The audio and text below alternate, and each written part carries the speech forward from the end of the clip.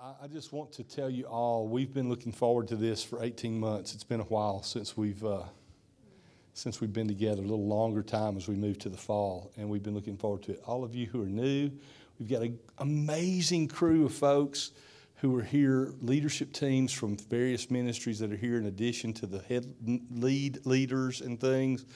We are so blessed to have you guys with us. We're so blessed that that we could have the expanded family from our ministries as well as our family families with us. It's just amazing to us. You're going to notice on the name tags, we tried to make things uh, helpful for you that the ministry name that the group is with is down here at the bottom. And then underneath it, it's going to say either guest, that is either A, someone who's just a friend of our Patria family and is joining us, somebody who's in process of becoming part of Patria, somebody who's just sort of a friend of some of you that you brought with you. Uh, that's various groups of people, but it just helps you kind of identify who's who. The second thing it'll say down there is it will say Patria family member. That is typically the lead person from the ministry that's named, that is the direct connection to Patria are one of the leaders from the ministry who is independently connected to Patria. The third thing it'll say down there is the name of that ministry. For example, it'll say North Shore Bridge, and Drew has Patria family member, but Mateo has North Shore Bridge family. That does not mean that Mateo and Audrey are not part of Patria. It means they are part of Patria through Drew and North Shore Bridge, because all of you are part of the family, even our guests, by the way. Because in Greek, patria literally does mean family, but it means family, tribe, or nation. We're a family of families, that's a tribe. The church and the ministry is a family. The family of families is a tribe, and the kingdom of God is a nation, and we are one. We're all family, so we're glad to have you. I think I covered everything.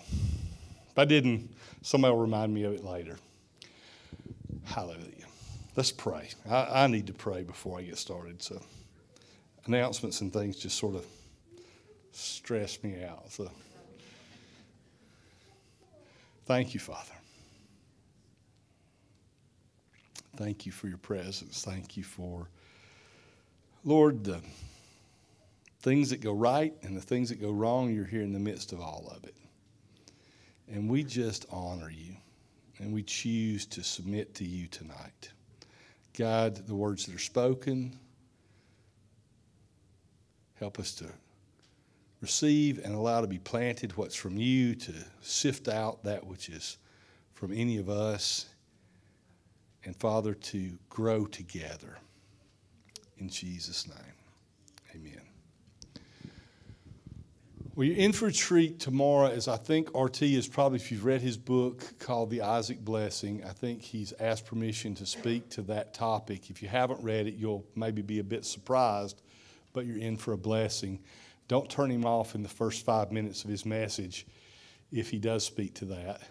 Give him the chance to lay his foundation for it because it might not be what you expect, but it'll be good.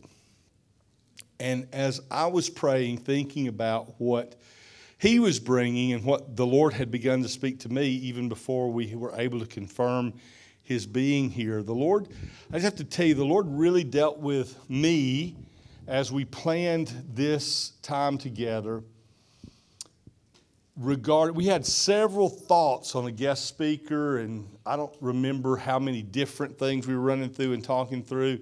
And right in the middle of it, all of a sudden, it was like Holy Spirit said, You need to bring RT as the keynote.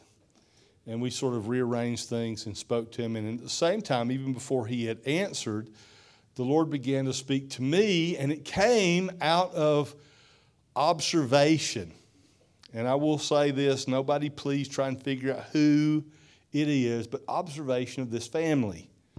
An observation of this family in which I recognized that we're filled with people who are weary and worn down, some of which are either in or at the brink of burnout, some of which are on their last hurrah of can I make it? some of which are at the beginning phases of what in the world is going on, but a full family of people who are strained. If you don't fit that category, I'm not going to actually make you answer this, but if I had to ask, I would say if you don't fit that category, raise your hand because it would be the minority sitting in here right now. We're in a time and a season in which weariness is the norm. And then when I began to look around, I realized that's not just Patria, this is the state of the church. The church as a whole around the world.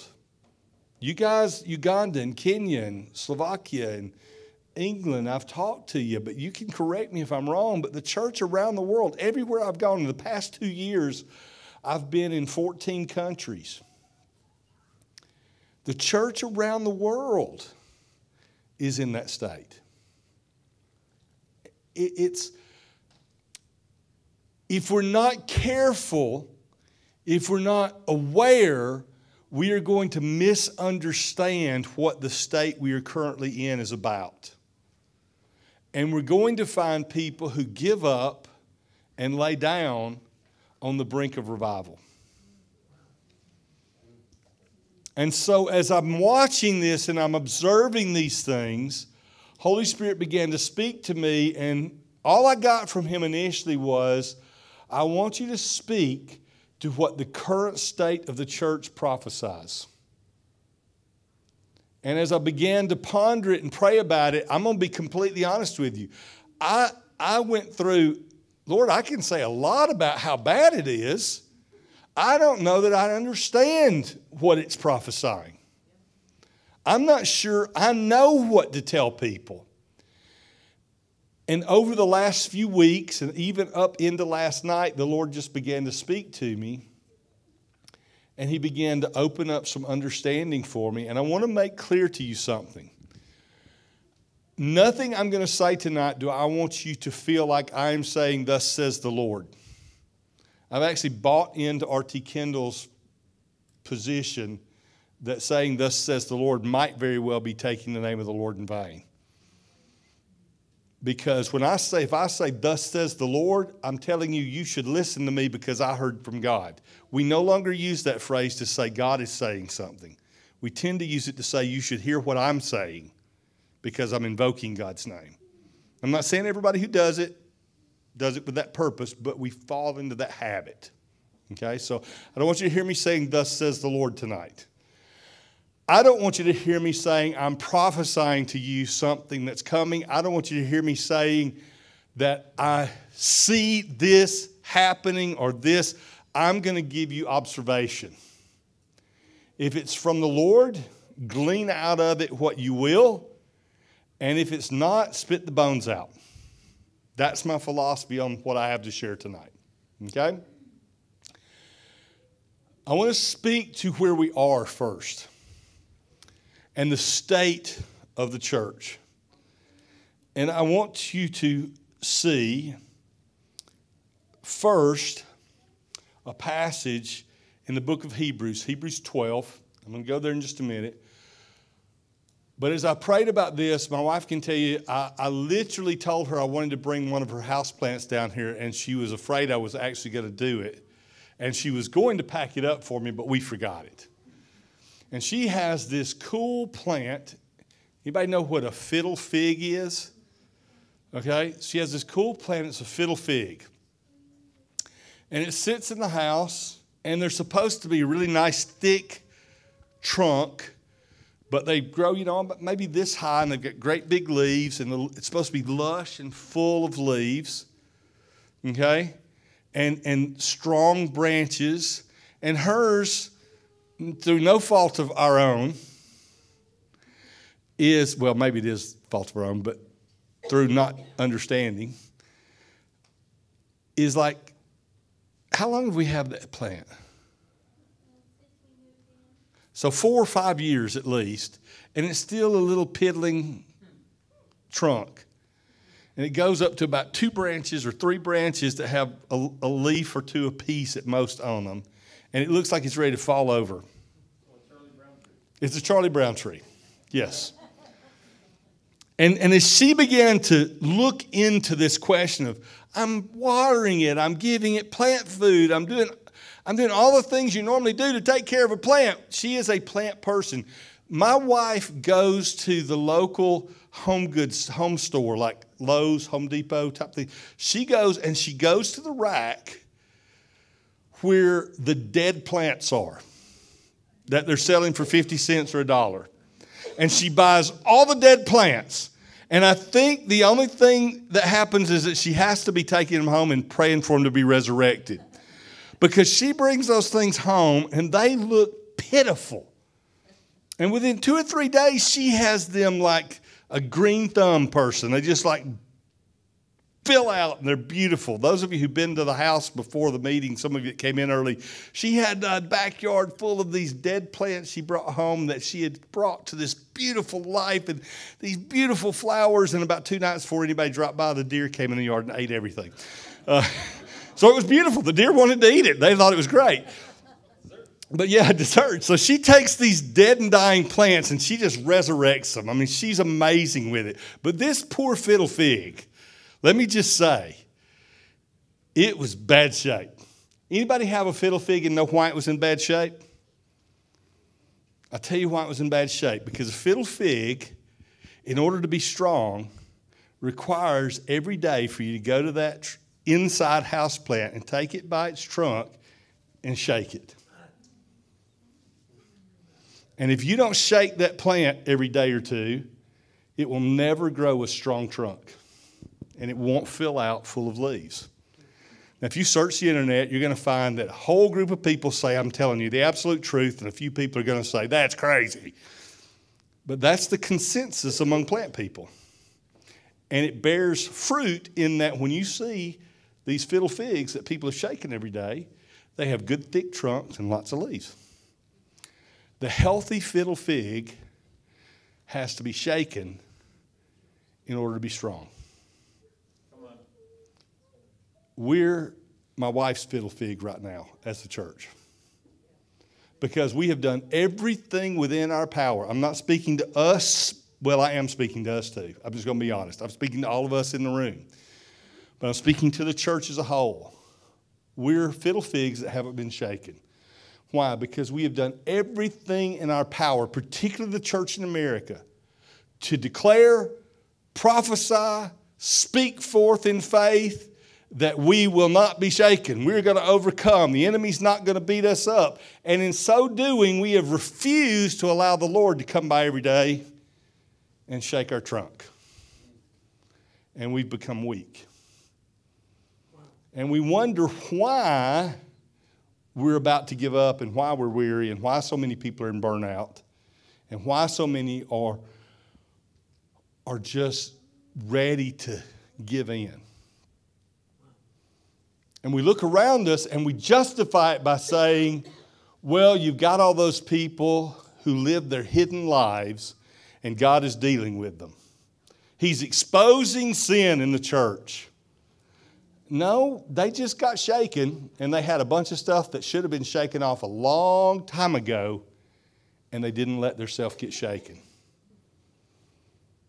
Is he exposing sin? Yeah, he's exposing sin, but bottom line is all he's really doing is shaking and gross stuff that should have never grown on their tree is shaken off now to strengthen the church. When if it had been shaken off years ago, we wouldn't be hearing the stories about them today. Now, just on that alone, I want to ask you do you want to be my wife's fiddle fig or a healthy fiddle fig? Because that's the choice we're presented with right now. We're presented with are we going to fight being shaken? Are we going to embrace being shaken? Because the enemy is not the one shaking the church right now. God is shaking his church. Hebrews chapter 12, verse 26 and 27. At that time, his voice shook the earth, but now he has promised, Yet once more I will shake not only the earth, but also the heavens.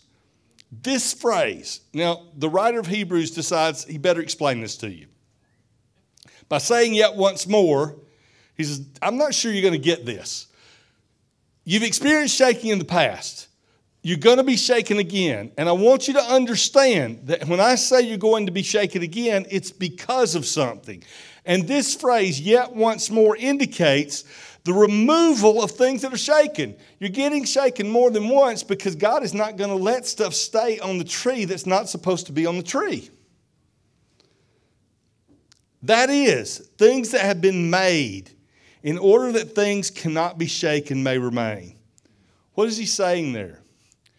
Everything in your life as a leader that you have positioned to put yourself in a place where you can be recognized and received as a leader, the things you have made is going to be shaken off.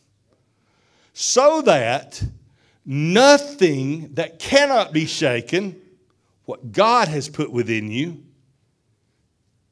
will fall off, only the stuff you made. And you're going to be left unshakable. We saw in 2020 the effects of a worldwide pandemic. Doesn't matter. Listen, we're good about accepting different people's perspectives in this family. I don't care whether you believe it was a pandemic or you don't. Doesn't matter. We saw the effects of either a real pandemic or what was presented as a pandemic. Okay, so I, you, I don't want us to have miss see something because we disagree on what happened.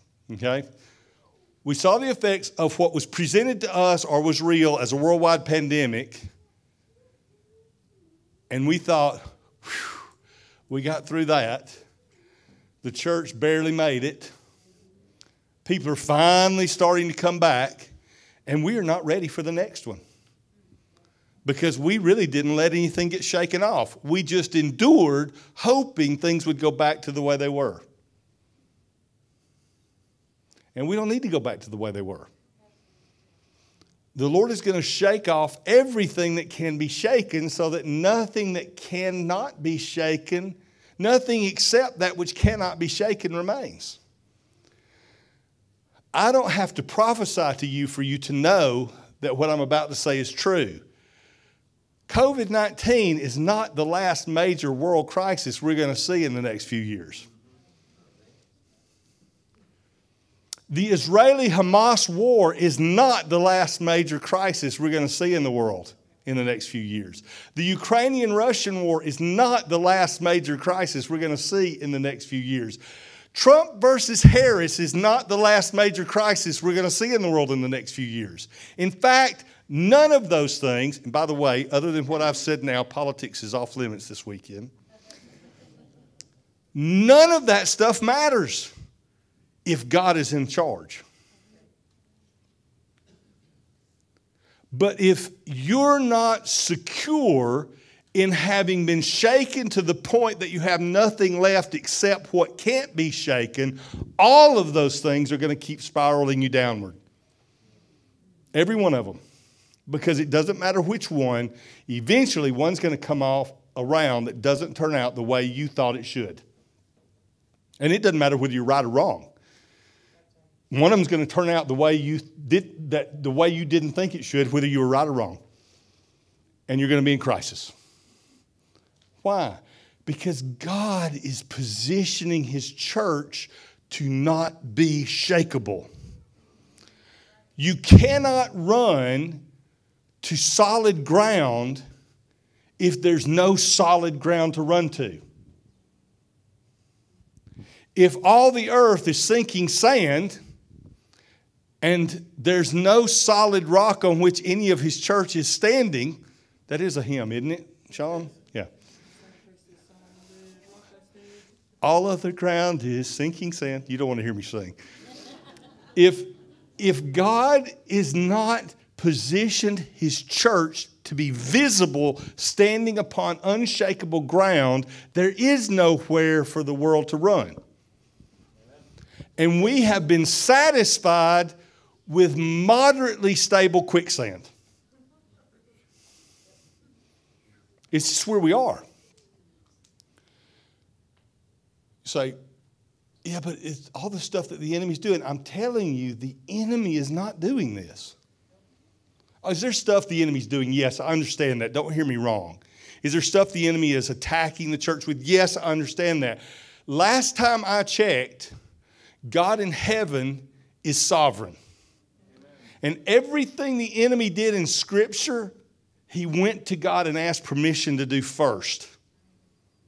And if we're seeing worldwide attack of the enemy, I promise you, it has not come without Satan going into the courts of heaven and saying, God, I want permission to test them in this way. And the Lord God saying, Go get them. Look at Peter. That's effectively what Satan did with Peter. Jesus said, The enemy has asked to sift you, Peter. And if you really want to just bring it down to, to, to North Alabama redneck language, God responded to Satan, Sick him. Go get him. Why? If you, know the story of Peter, why did God say that? Because he knew that when Peter had been through that testing, he would be a different person from what he was before he went through it. And what Peter was about to experience would require him to be a different person from what he had been. Many of you have heard John Paul Jackson speak some things that have always been an encouragement and a strength to me. There's a couple of st- phrases John Paul used to use that have sustained me for years. And you'll recognize two of them. And the Lord has added one into my heart, on, built on the, the foundation of what John Paul used to say. He used to say this He would say, The depth of your valley, what? Prophesies the height of your mountaintop. And then he would say, the length of your valley prophesies your sphere of influence. And I want to add something to you. Your presence in the valley prophesies your ability to stand on the mountaintop. We believe, and this is a lie I believe from the enemy, we believe as a church that it is our mountaintop experiences that sustain us in our valleys. I do not believe that. I believe our valleys keep us from doing stupid stuff on the mountaintop. Because I'm much more afraid of doing something stupid on the mountaintop and being judged by my God than I am about spending time in a valley. So, what are we dealing with? My father used to teach on, a, on what he would call baptism of fire. And he would speak to the idea that we're tested by fire to prepare us for what's next. Uh, John Paul and many others, uh, John Sandford, several, would talk about a couple of things called the um, uh, dark night of the soul. Some of, most of you probably heard that. That actually originated with a guy named St. John of the Cross. And it speaks to a time when your gifts begin to fail and you have to trust God because the way you used to do things don't work, doesn't work anymore. Then John Paul would speak to, and all of you as believers are going to go through dark nights of the soul. It's just because God is going to make you dependent upon Him. Every time you think you can accomplish it yourself, God is going to remove the ability for what you thought would work to work so that you have to go back to Him to learn how He wants it to work. Then there was a thing called the dark night of the Spirit. Some of you, some of you say, I haven't even heard of that one. Dark night of the Spirit is not something everybody goes through. You're chosen to go through it because He expects that we will be ready to quit in the dark night of the Spirit. That not only does the way it used to work not work anymore, but everything starts to go wrong. The reward of dark night of the Spirit is you're granted authority to be transformational. I don't care what we call it baptism of fire, dark out of the soul, dark out of the spirit. They all have a purpose. They're to prepare us for what's next. And if we get consumed with looking at where we are instead of looking for where we're going, those things will kill us. And it, they're killing people around you. If we begin to recognize that those things are not going to kill us, they are prophesying our destiny, I'm not going to say we're going to be happy about it, but we will begin to embrace them. James says, Count it all joy when you fall into various trials. We know this verse. A lot of you have it memorized. You don't believe it, but you know it. Count it all joy when you fall into various trials, knowing the testing of your faith produces patience. And when patience has had its perfect work, you'll be whole and complete and lacking nothing. How many of us have joyfully embraced our trials to the point we're whole and complete and lacking nothing? I haven't. It's very difficult to do. I do not want you to hear me saying this is a joyous message. I'm just trying to be real about where we are as a church. I don't want a lot of people to end up burnt out because they're in the state, early stages of burnout. I don't want people to quit when they're on the brink of victory. I don't want people to fail when God is offering success. But if we don't understand what we're going through, it's really easy to get overwhelmed and not hang on. You heard that old phrase when you get to the end of the rope, tie a knot in it and hang on for dear life. And that's where some of us are at. I know it's not everybody, but it's enough of you, it's important to talk about. So, what's happening? I'm going to talk about it from the perspective of baptism of fire. Okay? We could use any of the other phrases in different ways, but I'm going to talk about it from the perspective of baptism of fire because I want you to see it. If we look at the scripture in Luke chapter 3, verse 16, interestingly, the very chapter and verse should tell us this is an important passage. Why? What's one of the most important passages in the Bible to us as believers? John 3:16.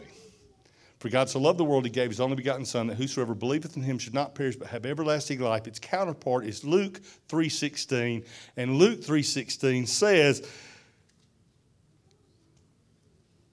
John answered them, saying, I baptize with water, but he who is mightier than I is coming, the strap of whose sandal I am not worthy to untie.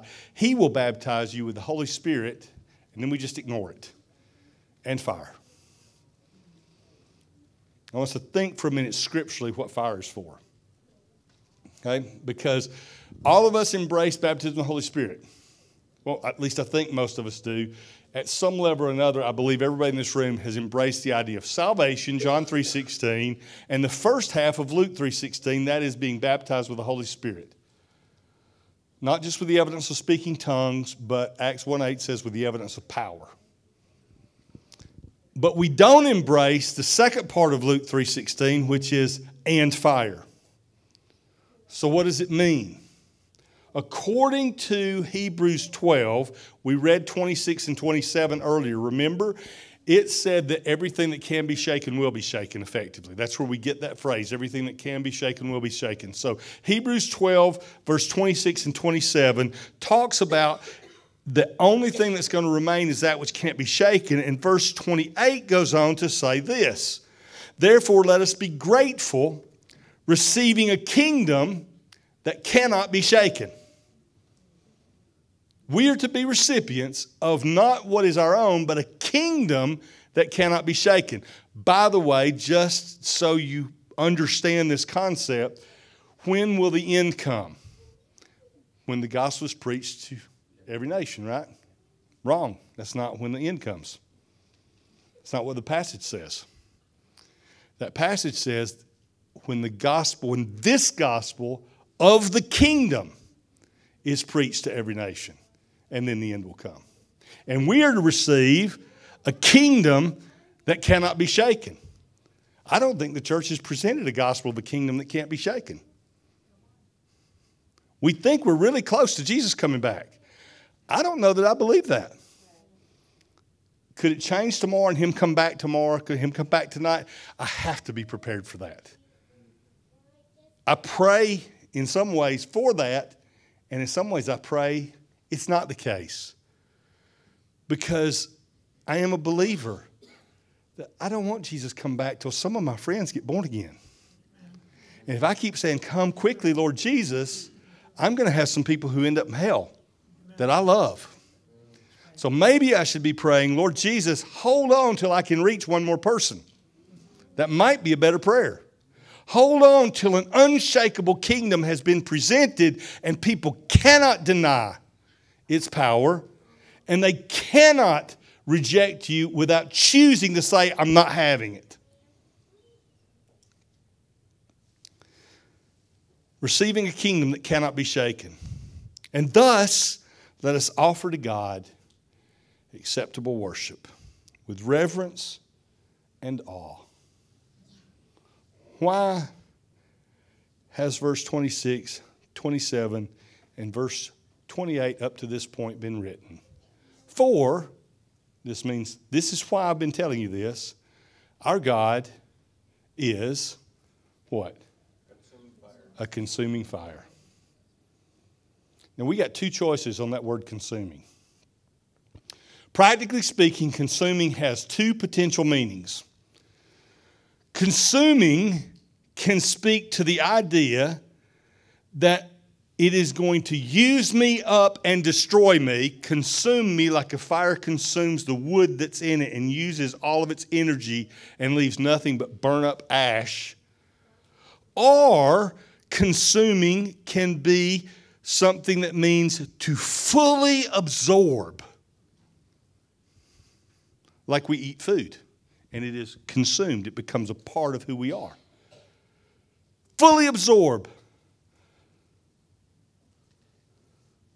The attention in one way of someone or something. So you got two choices. Our God, a consuming fire, is either going to burn you up and leave you with nothing left but ash, or he is going to make you such a part of him that there's no ability to distinguish you from him. That's really the only two choices. That's who he is. So we either get one of two scriptural results if he's a consuming fire. We get either the result of Luke 3:16 in which he baptizes us with the Holy Spirit. He immerses us into himself with the Holy Spirit and fire. We are fully absorbed into the consuming fire of God, becoming a part of who he is.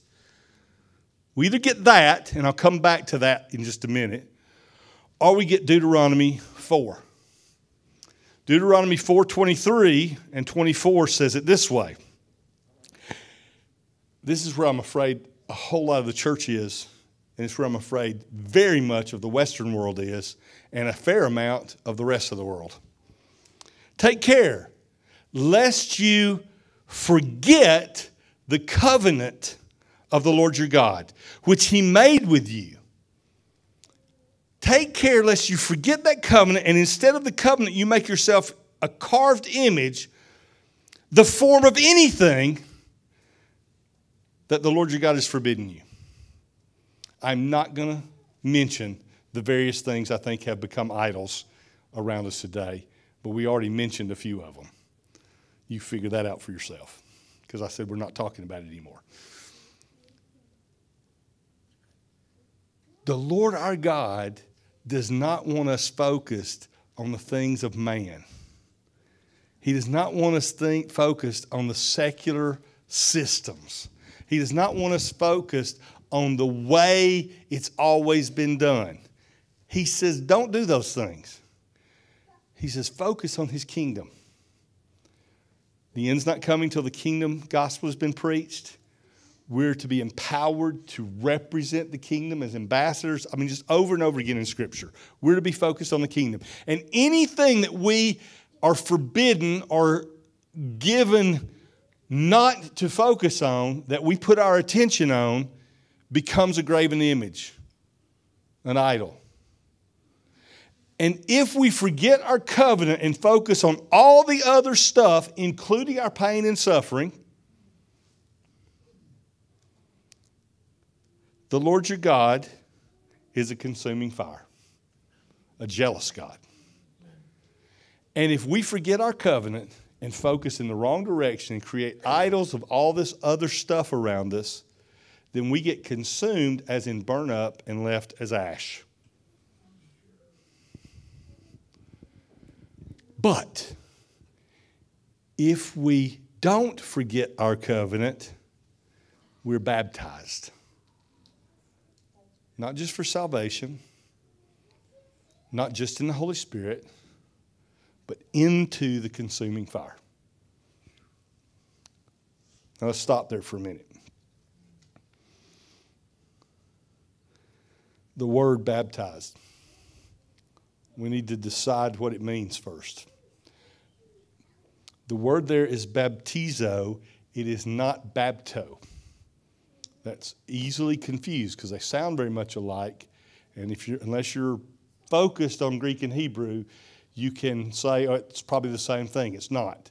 It's very specifically, the word is baptizo. That word, the best way to explain it means to dip, immerse, or submerge, as in a vessel being submerged into the water and being completely immersed in it. To cleanse by dipping, submerging, washing, to make clean, or to overwhelm.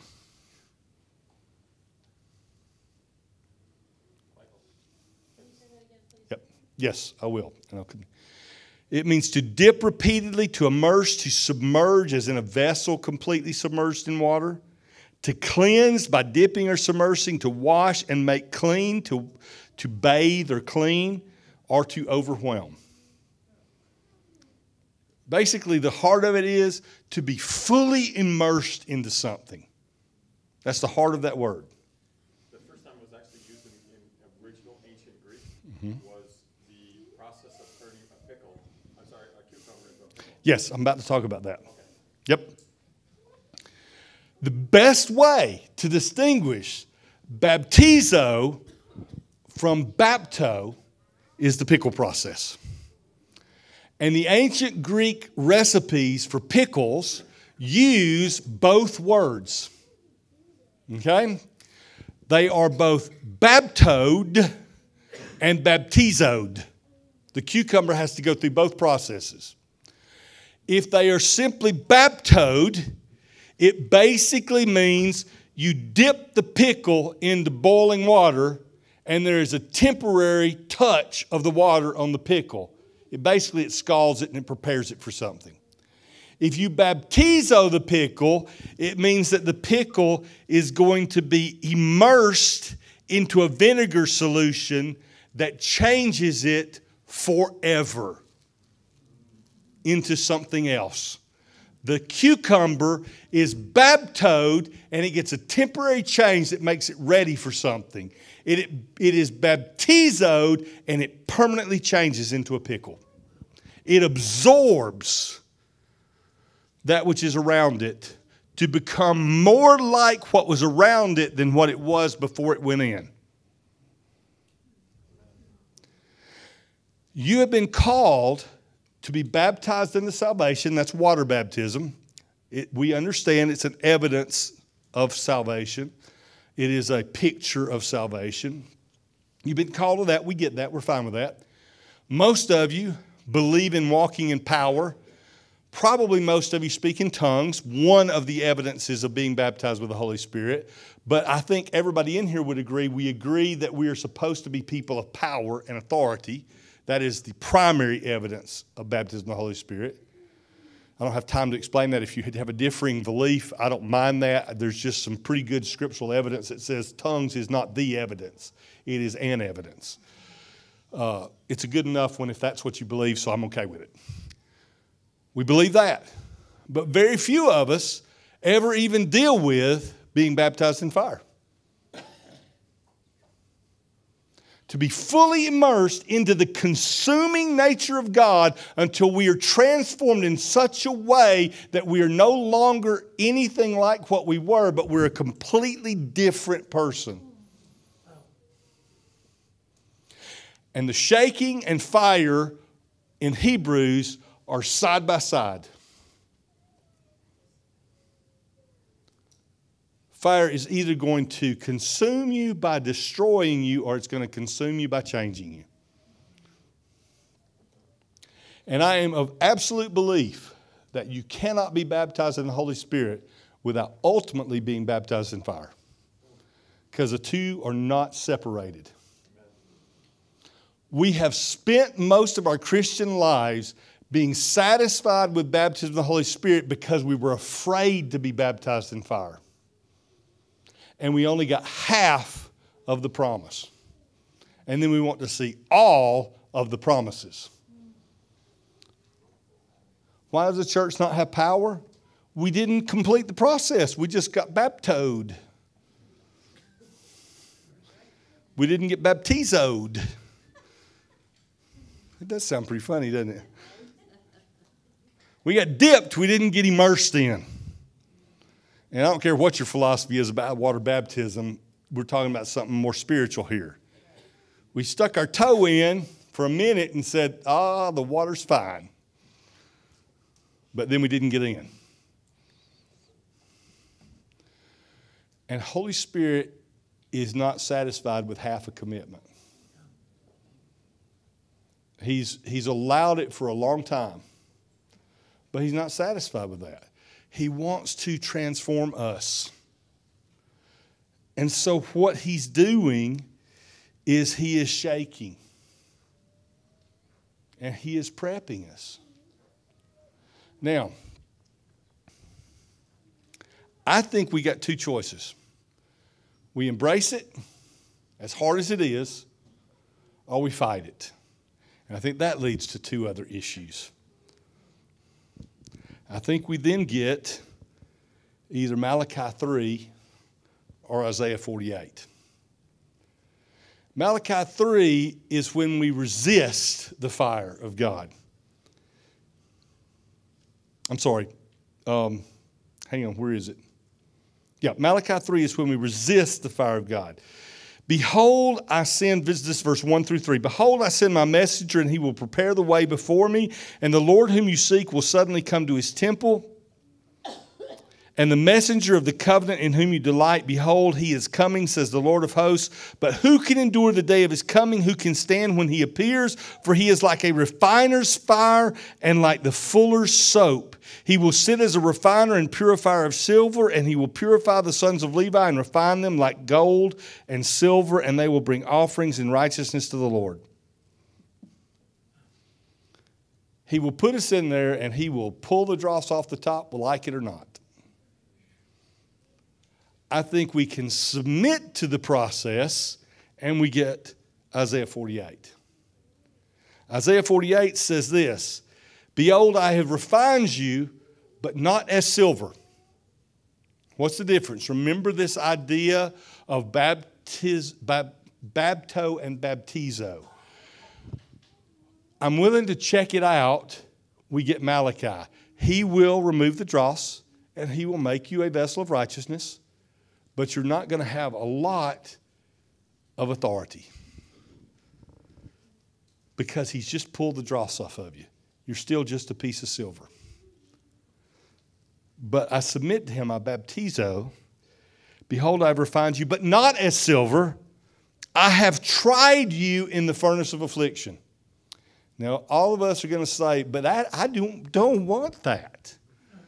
I don't want to be tried in the furnace of affliction back up and look at the Hebrew, what he's actually saying. I have chosen you because you went into the furnace of affliction. Now, we'd like to be chosen, but we don't want the furnace of affliction in order to get there. That's Isaiah 48 10. It's always been there for us, and if you're a part of streams, if you've been a part of streams and around John Paul, in the art of hearing God, you heard this scripture over and over again. It's Hosea chapter 2, verse 14 and 15. Therefore, I will allure her, speaking to Israel. I will bring her into the wilderness, and I will speak tenderly to her. We recognize it's talking about Israel, but it's speaking to us. And there I will give her vineyards and make the valley of Achor, the valley of death, Yea, though I walk through the valley of the shadow of death, That doesn't have anything to do, I, if I ever happen to be in a place that's close to death, God's going to be with me. That says, You are going to walk through the valley of the shadow of death.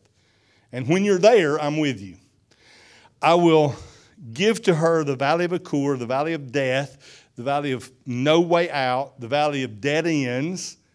If you don't know what Achor was, it's the place where Achan was killed for the sin that he committed that led to the loss at Ai, or AI. But if I say AI, then everybody thinks it's artificial intelligence. we had this conversation earlier today. I. And I will make the valley of Achor a door of hope. And there she shall answer as in the days of her youth and at the time when she came out of the land of Israel, of Egypt, I mean, into freedom. This is what the Lord wants for us. Where you are right now, for many of you, is not the end. It's not burnout.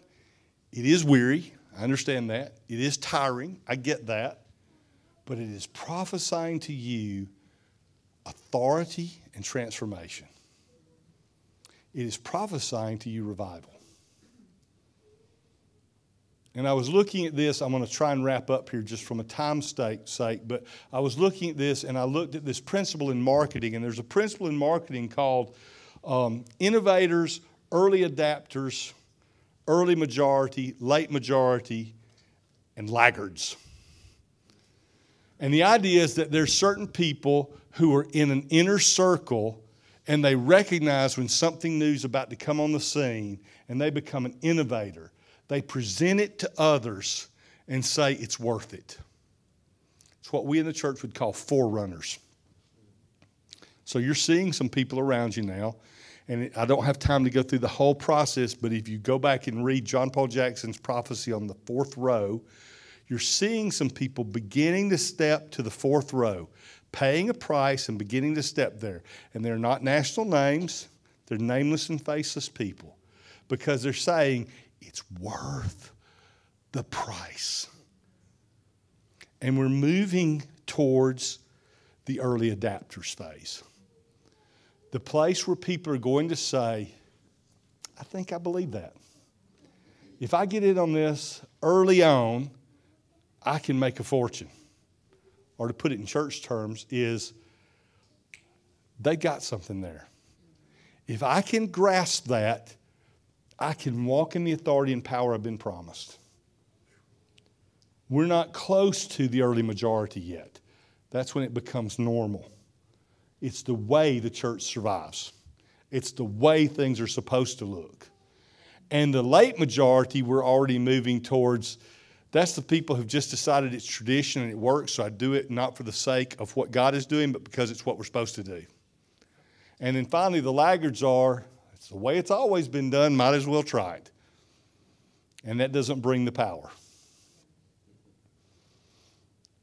I want to be in the innovator and early adapter place of this concept because I believe with all my heart the Lord is about to release a wave of revival in this nation. He is about to move people who were nameless and faceless to the fourth row. He's about to put them into a place to be facilitators of revival. But revival is not going to look the way we expect it. We're not going to see a Toronto. We're not going to see a Brownsville. For good or bad, we're not going to see a Lakeland.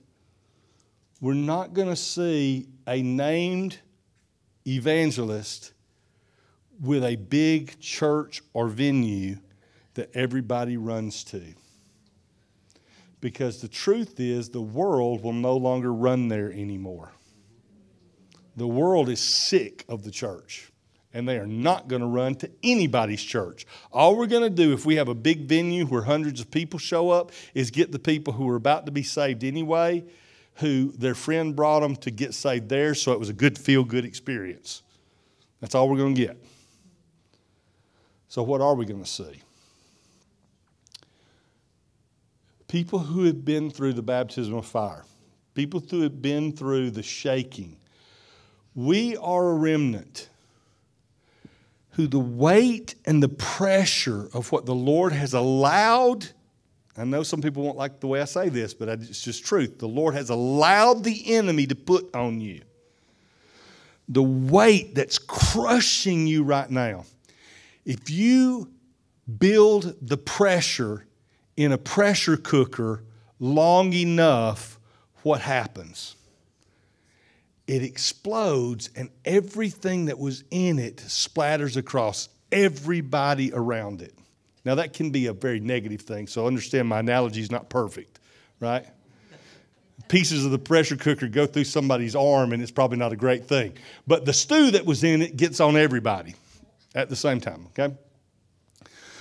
So, this weight and pressure that's been on everyone, when it breaks, when we reach that point we would call breakthrough, we begin to push it back. And the light of God that is within us explodes from us.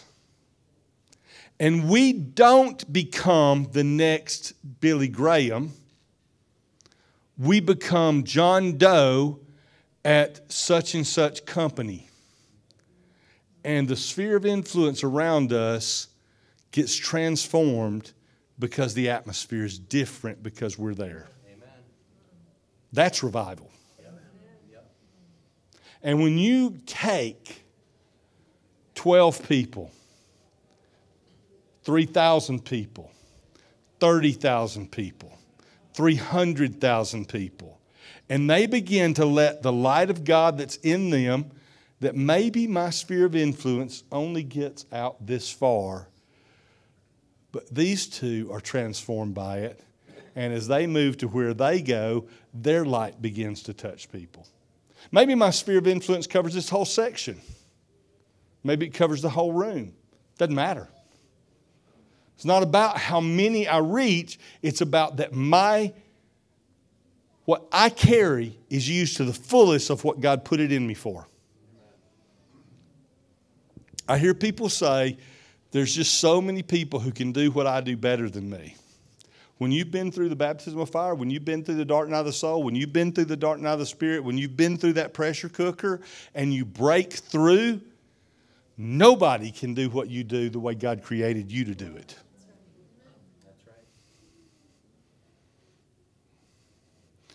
Who knows the name of the person who led Billy Graham to Jesus?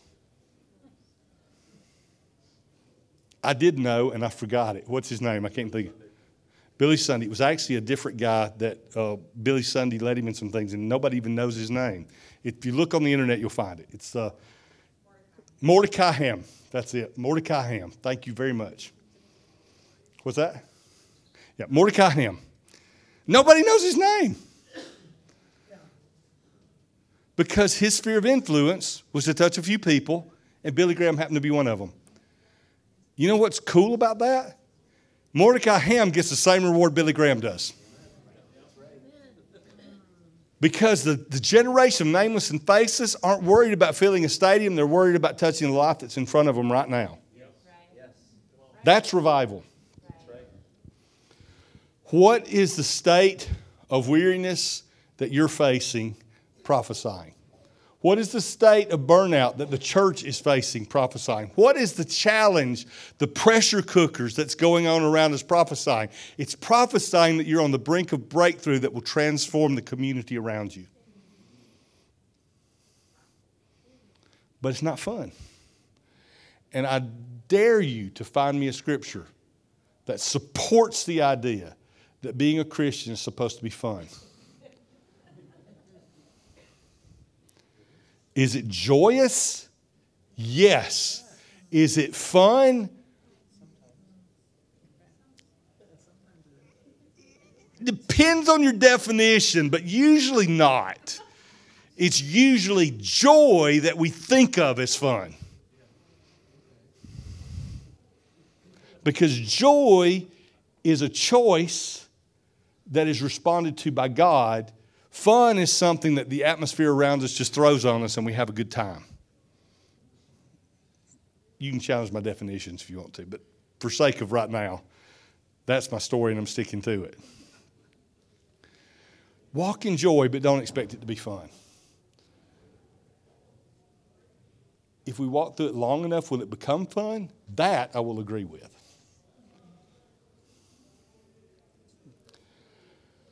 I want to see revival, but it's not the revival we've been expecting, and there's going to be a price to pay. And if we don't pay the price, we're not going to see the revival. One of the last, among the last few really true great revivals, was the Welsh revival. Ask Steve Watson sometime what he learned about the Welsh revival. But one thing I can tell you about it is there was a heavy price paid by the people who ushered it in. Was it worth the price? I'd say it was. I could keep on, I could point you to so many other things. Things like Philip and the fact that we don't always get to know the impact of having paid the price. Sometimes it's hidden to us. Philip had a great revival, had to leave it, go to the desert, talk to one guy, and then disappears from Scripture probably never knew that the one guy he talked to changed the nation. Probably never knew it.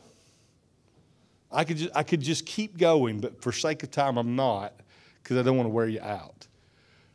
Worse than some of you already are.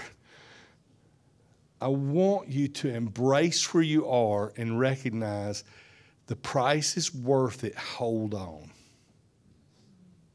Amen.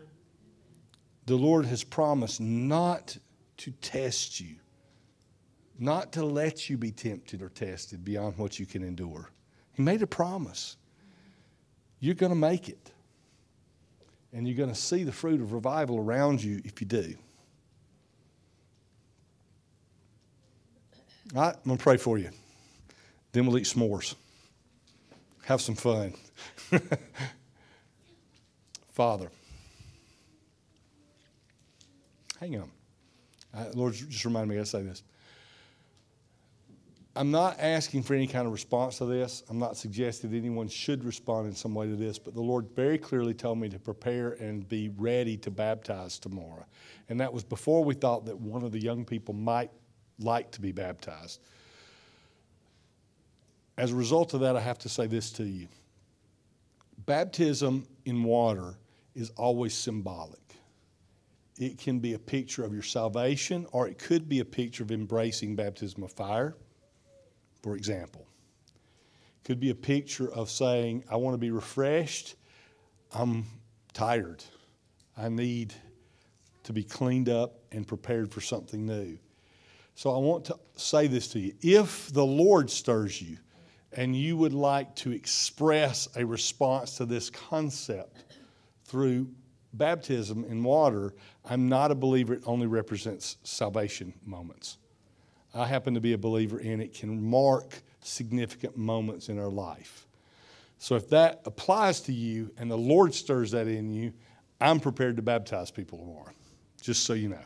You can talk to me if that applies. Now pray.